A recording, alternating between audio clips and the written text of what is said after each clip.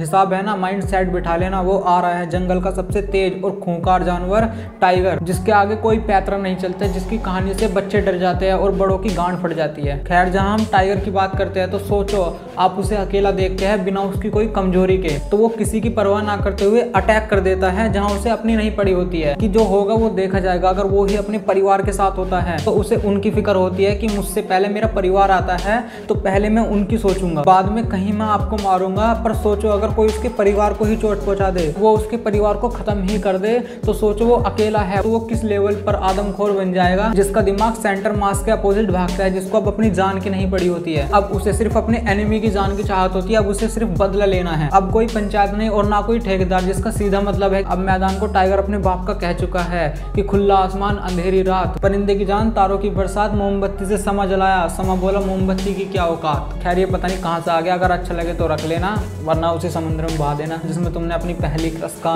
नाम बहा दिया। खैर, अपन बात कर रहे हैं टाइगर थ्री की। सलमान भाई के कम की तैयारी। जहाँ दो हज़ार तेईस वैसे भी कम का बहुत बढ़िया साल रहा है, जिसमें कि एस आर के अक्षय कुमार और अपनी सनी पाजी, जहाँ तक कि यो हानि सिंह, इनके लिए काफ़ी अच्छा साल रहा है मतलब ये वैसे ही राधे दबंग थ्री और स्पेशली किसी के भाई, किसी की जान के बाद। अब सलमान भाई का भी असली अवतार सामने आए हैं अपने रोड टाइगर के रूप में, जहाँ ऑडियंस इस फ्रेंचाइज के लिए पागल है और आपका पूरा दबदबा जब बन जाता है, जब आप एक ऐसी मूवी बना दो तो सिनेमा लवर की चाहत को चाँद पर ले जाए, जहाँ टाइगर थ्री का ट्रेलर सोलह तारीख को आया तो ट्रेलर रिव्यू चेक कर लेना लिंक डिस्क्रिप्शन में मिल जाएगी। तो टाइगर थ्री का ट्रेलर जो काफ़ी अच्छा था, काफ़ी मनी शॉट देखने को मिलते हैं, कुछ एक थ्योरी क्रिएट करने को मिल जाती है कि हाँ इस मूवी में ये ही होने वाला है, और ये वैसे भी स्पाई यूनिवर्स से कनेक्ट है ही। ये तो सबको ही पता है। इससे पीछे हटने वाली कोई बात नहीं है। जहाँ इसकी कड़ी में पहले भी वॉर और पठान जैसी मूवी आ चुकी है, जहाँ इन मूवीज़ के स्वीकल आने वाले हैं।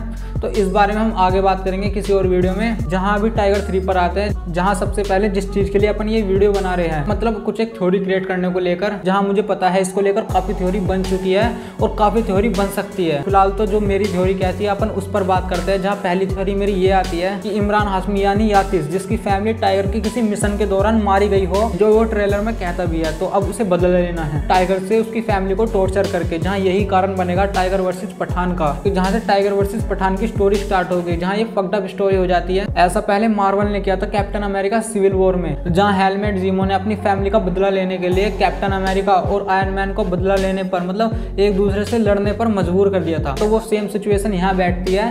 शायद ऐसा हो सकता है, जहाँ दूसरी थोड़ी ये बनती है कि आतिश अपना इमरान हाशमी टाइगर को वहाँ तक रुला देगा, कि जहाँ सीमा पार हो जाती है। और ट्रेलर में देख सकते हैं कि कैसे आतिश टाइगर को उसकी फैमिली के बदले में कुछ काम करने को कहता है, जिसके चलते टाइगर किसी बुरी मुसीबत में फंसेगा, जहाँ से पठान उसे बचाने आएगा। और गलती से पठान के हाथों जोया यानी कैटरीना मर जाएगी। तो वो गलत टाइगर को लग जाएगी, जहाँ उस गलत को सुलझाने के चक्कर में और गलत हो जाएगी, जिसके चलते टाइगर वर्सेस पठान स्टार्ट होगी। जहाँ ये एक फ़ैन थ्योरी जो मेरे हिसाब से बिल्कुल भी ठीक नहीं है, क्योंकि इसका एक गाना लेके प्रभु का नाम आ चुका है, जो एक हैप्पी मोमेंट क्रिएट करता है, जो प्रोबेबली मूवी के आखिर में ही आएगा, क्योंकि पहले भी हम देख चुके हैं टाइगर ज़िंदा है में स्वैग से स्वागत गाना, जो मूवी का आखिर में ही आता है। जब सब कुछ हैप्पी एंडिंग के साथ होता है तो उस हिसाब से कैटरीना कहीं नहीं जाने वाली है। आगे भी देखने को मिलेगी, जहाँ ये फ़ैन थोड़ी गलत साबित होती है, जहाँ तीसरी थोड़ी उसके लड़के को लेकर बैठती है टाइगर के, कि वो शायद तकड़े मामले में फंसने वाला है, या टपक भी सकता है। वो कहीं कहीं ठीक लगती है, पर वो पूरी तरह से कहानी में फिट नहीं बैठती।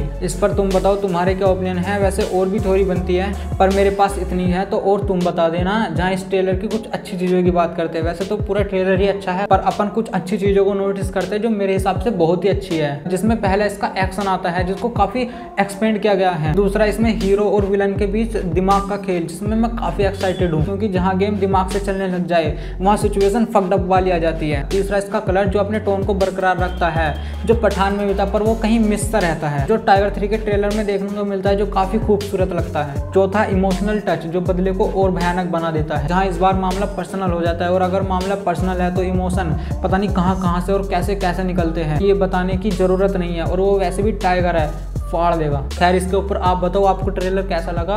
क्या क्या चीज़ आपको अच्छी लगी? मुझे काफ़ी अच्छा लगा और मैं काफ़ी एक्साइटेड भी हूँ। और लॉर्ड्स थिंक का एपिसोड सिक्स चेकआउट कर लेना। लिंक डिस्क्रिप्शन में मिल जाएगी और इस पर अपने ओपिनियन बता देना। और तब तक देखते रहिए बेयर बैक क्रिएट